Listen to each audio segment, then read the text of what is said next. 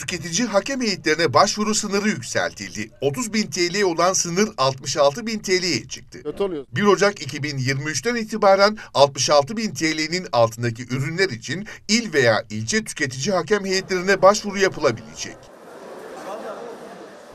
Tüketici hakem heyetlerinin yetki alanıyla iş bölümü Ticaret Bakanlığı'nca belirlenecek.